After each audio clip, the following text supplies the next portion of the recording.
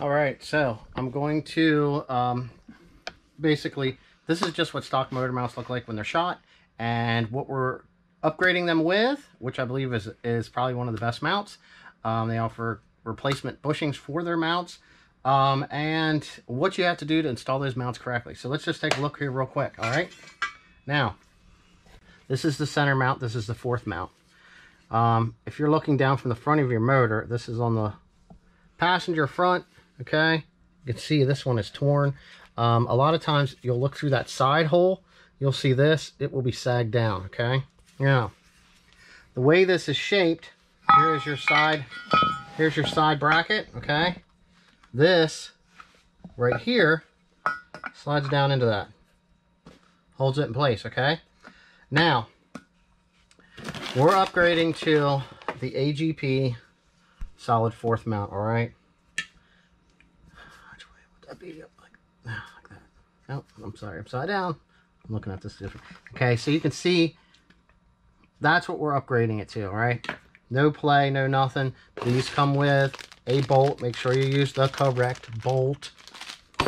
If not, it'll go in too far and hit your timing belt, okay? Now, see how this is smooth? You want to take and grind these two tabs off right here because this is what it's going to do. You're going to end up with that gap in there. Um, it's going to push your motor over and those will eventually run into here and they will tear this uh, bushing material up and that's something you don't want. So that's that's what you have to do to do that. Now, real quick, this is where this is installed, just so you can see. The passenger side of the engine. This will get bolted in right here, okay? And then the plate goes right on the side of the engine. All right, now, when this plate is installed, your upper mount bolts here, right through this hole, okay? This is the side of the mount. See how this sticks out? This has a little notch spot where that goes, okay? That's to help align this motor.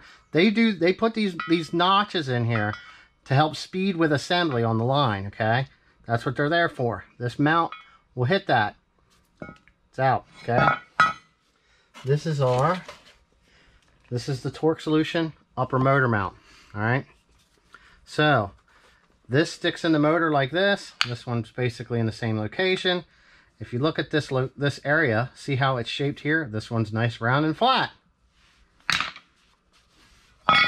Now, when you put this on here, what happens? There's not a flat surface for this to go to. You can have the option of undoing these two bolts and spinning this around, which is what I'm going to do. Or you can grind this tab here off and stick this on that way. All right. Like I said, you need to have this flat or you'll damage this and it won't fit correctly. All right. So that's pretty easy. That one goes right in the top. Now,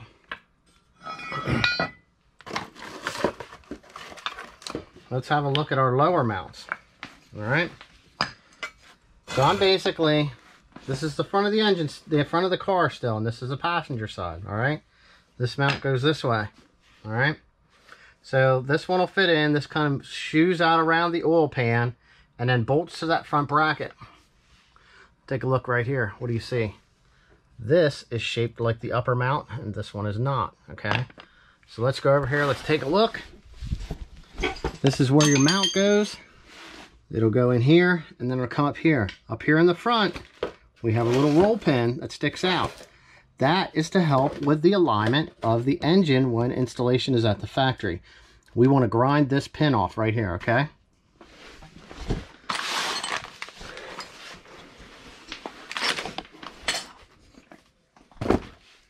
By the way, if you look, this mount is junk. Our upper mount, torn on the bottom there and on the top. You can see the tear. All right. We've already seen the center mount. We know that one was no good. So all three mounts were bad on the driver's side. Now, I've never really seen a transmission mount bad, but if you take a look at this, this is going to be our transmission mount. This is our replacement mount. All right. Just like that. So we have the same scenario going on here. This is a round flat surface, not only on one side, but on both sides. So if you take a look at this, this is shaped almost, I don't know, what, what would you call that? Upside down T, upside down diamond with a little T on it. All right. Both sides are the same. Now, this is the mount that bolts to the frame underneath your battery tray. Up inside here, there is nibs right here, okay? On this side, there's also two, all right? That is for this mount. When it comes up in from the bottom, it lines right up with the hole, see? All right, now, if you try to shove this up in here, which very rarely does anybody take the time to do this, because they'll force this up in here, it hits those nibs, all right?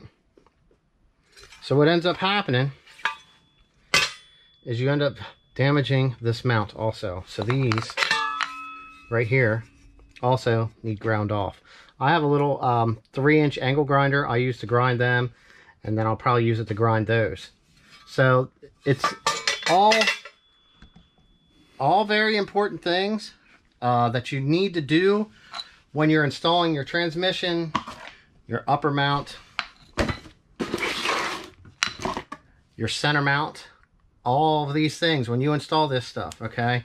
All This is all the proper way to do this. Um, these are not cheap. Um, you're looking at uh, 400 some dollars worth of mounts when you order these new from uh, Modern Performance, which is where they came from.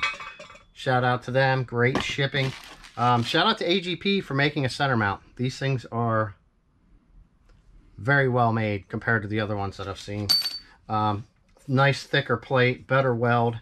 Uh, but that's just a side note. Now, also with this kit, we opted to get the upgraded they come with Allen head, which is really nice for install.